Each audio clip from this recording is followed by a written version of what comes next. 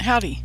To wrap up our coverage of profit planning with CVP analysis, we're going to take a look at cost structure and operating leverage.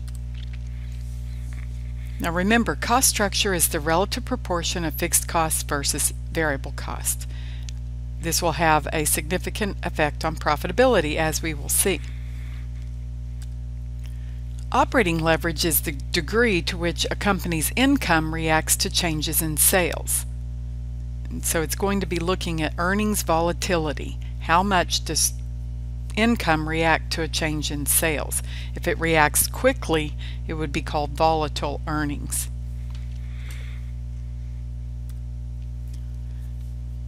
Now, operating le leverage is determined by the relative use of fixed and variable costs.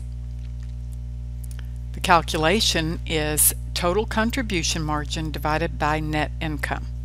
I know, another formula. But what you should recognize is this is simply our new income statement format, and you take the subtotal, the contribution margin, divided by the bottom line, which is net operating income. And we can use this degree of operating leverage to determine the effect changes in sales will have on income. The percentage change in income can be determined by taking the degree of operating leverage and multiplying by the percentage change in sales.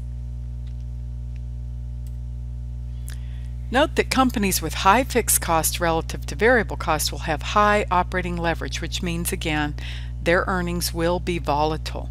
They will react quickly to changes in sales. Now when sales revenue is increasing, high operating leverage is good because that means profits will increase rapidly. However, if sales are declining, too much operating leverage will not be good because it will cause profits to decrease rapidly. So the choice of cost structure must really be careful, carefully considered by companies and their management uh, because it really determines how quickly profits will rise and fall as their sales rise and fall. And managers can make decisions that will affect this. Something as simple as putting someone on salary versus wages can move a cost to fixed if it's salary or variable if they become a wage earner. Let's take a look at an example. Two companies have the following contribution margin format income statements. And you can see we have CSTAT Beverages and CSTAT Natural Foods. If you will look carefully, you see that the beverage company has 10,000 of variable cost and 30,000 of fixed costs, which means at this level of sales, they have a significantly higher fixed cost than variable costs. On the other hand, the Natural Foods Company has a significant amount of variable cost as compared to fixed cost because 75% of their costs at this level of sales are variable. So I made the company's cost structure very different on purpose so that you could see how the degree of operating leverage does affect profitability. Alright, so we're going to calculate the degree of operating leverage for each company. And here, we'll simply take the contribution margin divided by the income. So for the beverage company, that will be $40,000 divided by $10,000, or 4.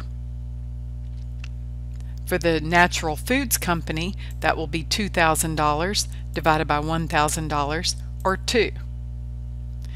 So since the beverage company has twice the degree of operating leverage, their profits are twice as volatile. Once again, looking at that cost structure, you can see the company that has the relatively higher fixed costs has higher degree of operating leverage. That is the beverage company. Now, question B. Use the degree of operating leverage to determine the effect on each company's income if revenues increase by 20%.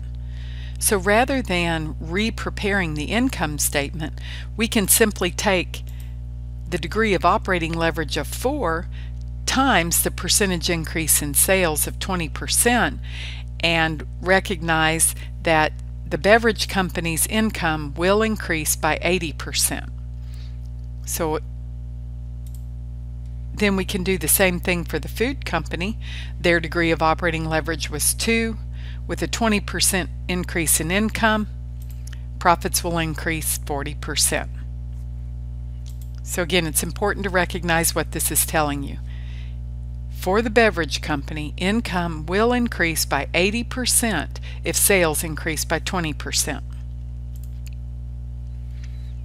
And for the food company, income will only increase by 40% if sales increase by 20%. All right, in Part C, I say prepare income statements to prove your findings in Part B. Understand this would not be necessary. I'm simply proving that our calculations in Part B held true. All right, so let's prepare our contribution margin income statements for the two companies. We'll have beverages and foods, sales minus variable costs equal contribution margin minus fixed costs equal net operating income.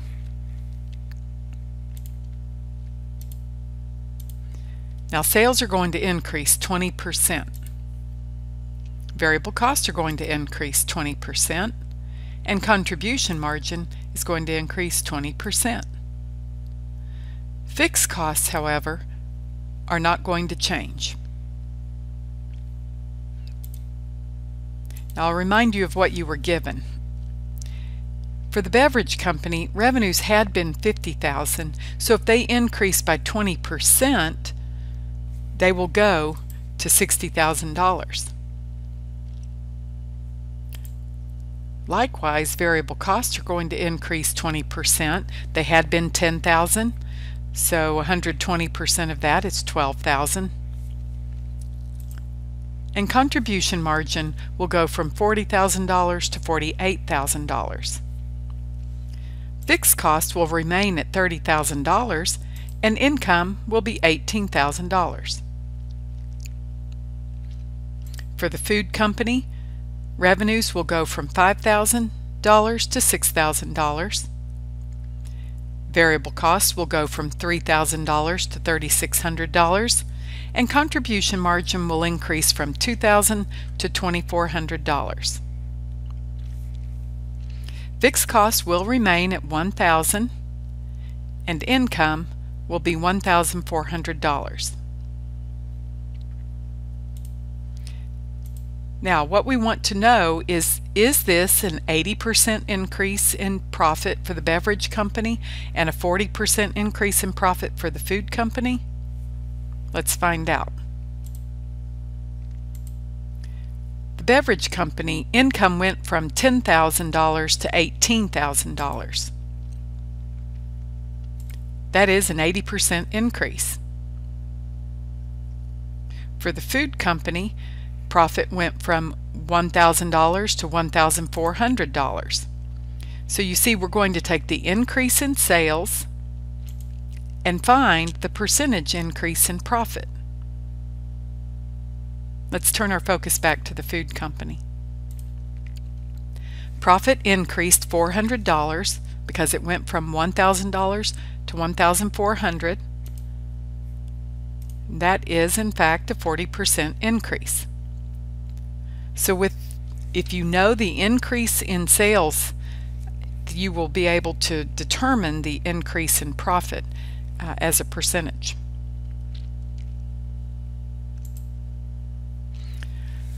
So in summary, the degree of operating leverage is based on the cost structure and it can be used to determine the effect of a change in sales on the change in income. So as an example,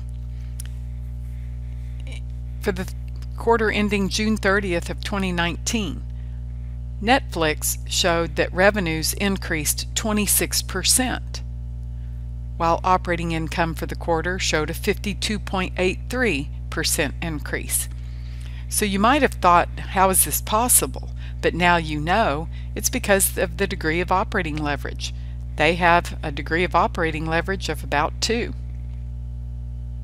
Get some practice. I'll see you in class.